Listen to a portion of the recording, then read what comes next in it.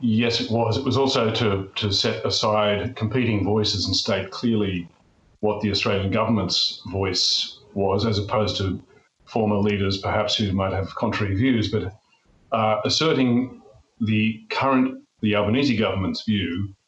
Uh, Penny Wong, the overarching concept that she used was to introduce Australia to an era of balance of power politics in other words, uh, no longer hegemonic politics, no longer Australia able to attach itself to a single great power, a single great ally, but to participate in a broader balancing uh, exercise. And in essence, that means, and she didn't shy away from using the word China either, Bev, interestingly, she was pretty straightforward. In essence, it means uh, gathering countries which are opposed to China's uh, coercion and dominance and gathering those countries together to balance against China's increasing power. And the thing that was clearly stated, although um, maybe a little understated, in her remarks was that she said we need more countries, more players to join this balancing exercise on Australia's side. And it's not just the Quad. I mean, the, the Quad nations were one of the clearest signs that, you know, classical uh, balance of power politics were at play when the US, Japan, India, and Australia joined. Uh, and the next summit of the Quad will be held in Australia in just a few weeks.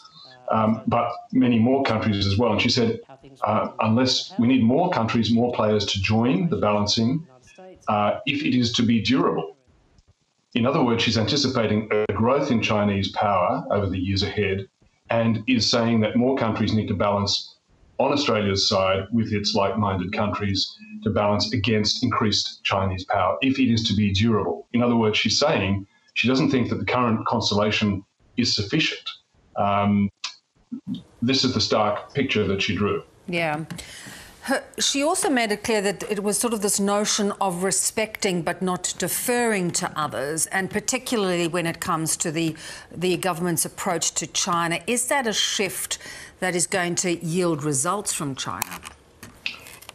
Well, if you look at, I think if you look at the current developments, you'd say it's already uh, getting some benefits, getting some uh, advances.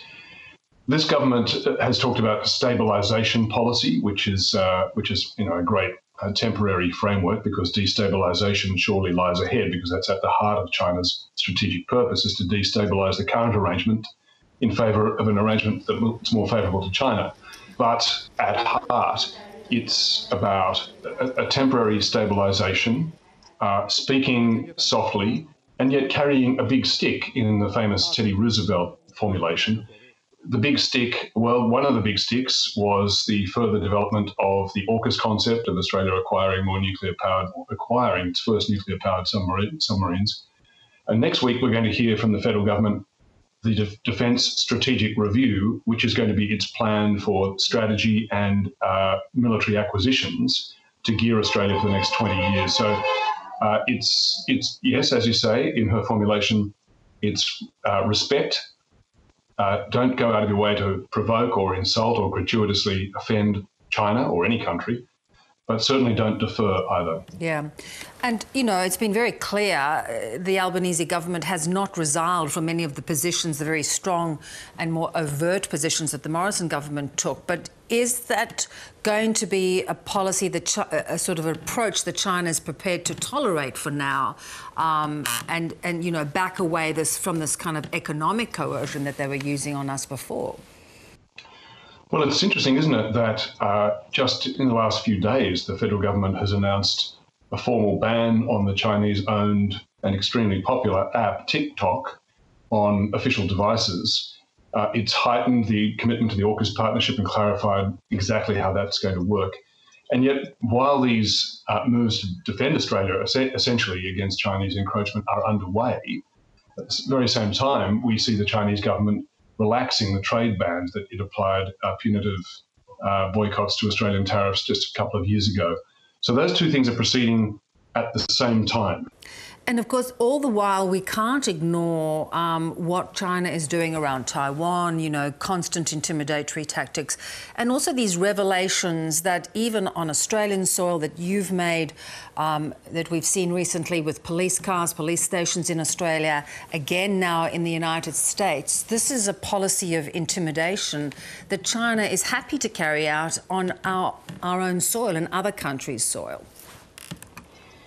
Yeah, and the particulars about the Chinese uh, putting these unofficial, uh, undeclared police stations and in particular detail police cars in other countries, including Australia. This is something that's been going on for a very long time, Bev, uh, and that I treated uh, in my book a couple of years ago. The first uh, reference to this in public was 2005. So we're talking nearly 20 years ago when a Chinese defector who was a political uh, attache to the Chinese consulate in Sydney, Chen Yonglin was his name, he defected to Australia and said at that time that he'd heard discussions in the consulate of a couple of specific cases of kidnappings of uh, Chinese Australians being rendered back to China. Um, and in 2018, the US policy magazine Foreign Policy, Zach Dorfman wrote a piece quoting former US officials saying that there were uh, quite a number of known cases within the intelligence community of Chinese Australians being just snatched. So, Ministry of State Security uh, officials would come into Australia undeclared on tourist visas, grab Chinese Australians, um, put them on boats. Uh, some were drugged, some were thugged, uh, some were simply coerced, their family members in China threatened, and forced to return to China for persecution or prosecution either for corruption charges uh, or because they were political enemies of uh, the, the ruling clique, or usually both of the above. So that's been that's been going on for a very long time. What we now see is some of the more uh, some more of the mechanics of how that's been happening are being exposed, and governments are finding the will to shut them down. And is that important to make these arrests like we've seen in New York, to actually not tolerate them quietly or react to them quietly? That's precisely right, uh, Bev, because the government here, but other governments, were so protective of the economic relationship that they uh, essentially they traded off the rights of the, the, Chinese citizens, Chinese people who were, who were living in their country. In our case, uh, Australian citizens who happen to be of Chinese descent, essentially traded off their rights, let China exercise extraterritorial rights over their freedom and their bodies and their um, habeas corpus, and simply letting them be spirited away to, to protect the economic side of the relationship. Now that that phase is over, certainly in Australia's case, uh, governments are prepared to speak openly about this. And that's critically important, not just to deter further Chinese interference, but to give the Chinese Australian community, of whom there are 1.3 million very valuable Australian citizens, whose rights need to be protected, and they can take some more confidence uh, in knowing that Australian officialdom and Australian governments will stand up for them and won't simply buckle uh, under the force of Chinese uh, illegal and extraterritorial renditions. Fascinating juggling act. Good to have you on. Thanks, Peter. Pleasure, Bev.